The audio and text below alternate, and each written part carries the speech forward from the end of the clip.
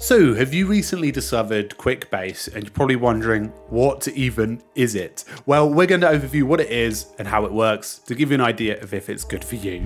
Now, if you're interested in QuickBase, we'll see if we have any deals, so feel free to find the link below if you're interested, but let's dive in. So QuickBase is an interesting one because from the surface, some people go project management app. And to some extent, you're right.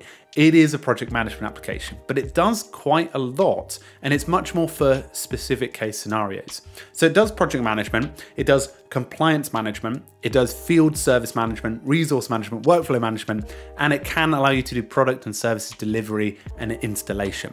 So as you can imagine, that's quite wordy. We're going to break that down very simply.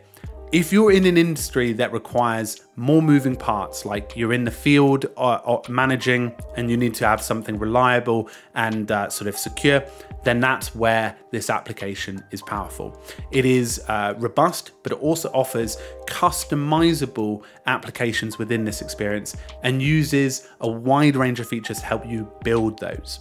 So, um, for example, on, on their site, they have a few examples of how people are using it. For example, manufacturing to enhance production uh, visibility and manage suppliers, government for ensuring compliance, streamlining processes, uh, in education for improving operational efficiency, and even with construction and solar, for example, to manage installations and track performance. So that's quite hyper specific. You're going to be a big organization if you're using this one.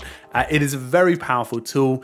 If you're looking for something a little less intense, maybe a project management tool, then you can go to toolfinder.co to explore lots of different project management tools. But this one, much more for a specific use case. Its pricing starts and ranges from free all the way to starting from $35 per team at the time of this video. And that's not per team, that's per user, per member, per month. Thank you so much. Thank you so much for stopping by today. I hope it gave you a better idea of what QuickBase is. Maybe it's worth it, or maybe it is. Do check it out in the link description. Cheerio, folks.